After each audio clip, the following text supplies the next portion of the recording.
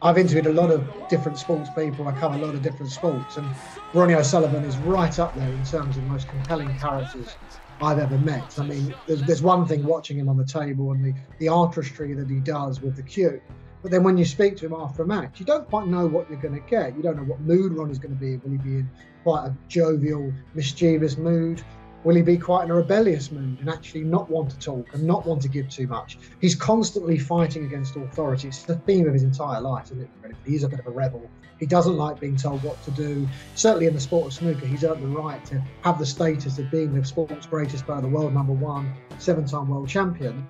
He has to sometimes toe the line. He doesn't always quite like that, to be honest. But I think he's got to that stage in his life where he's got outside interests, where snooker although it's an important part of his life, is just one strand, and he has all these other different business activities. He does a lot of punditry work, for example. Sometimes, like going, he likes going up to China, playing to those type of crowds. He even wants to play Chinese pool at some stage. So Ronnie's been able to. He doesn't just see snooker as his, his one-dimensional thing, tunnel vision of snooker. He has different strands, different hobbies and interests as I say, a very incredible character when you meet him. And as journalists, we get a chance because there's not many people that cover snooker. So when you're in a, a press situation, there might only be two or three people that are talking to Ronnie O'Sullivan. And as I say, I mean, he comes up with some tremendous lines. He's tabloid gold, that sort of thing.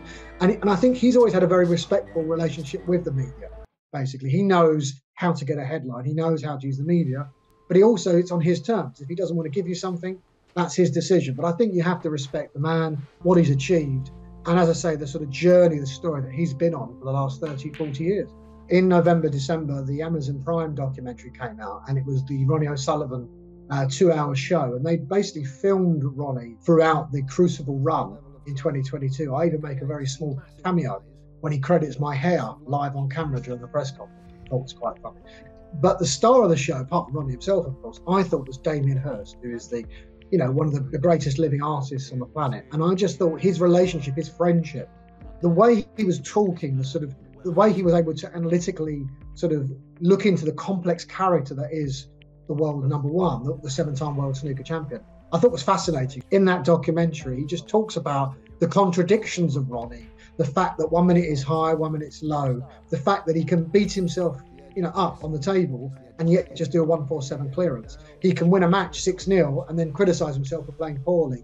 And it's incredible, Damien Hirst. And I think Ronnie also has a, long standing relationship with Ronnie Wood, who is a member of the Rolling Stones. Uh, those two partied quite a lot in the 1990s. Those days have long gone now. They prefer to eat uh, sort of scones and, and, clotted cream and jam at the moment behind backstage rather than anything stronger. But they had a really long standing relationship that goes back to the 90s when Jimmy White was in his peak, reaching world finals.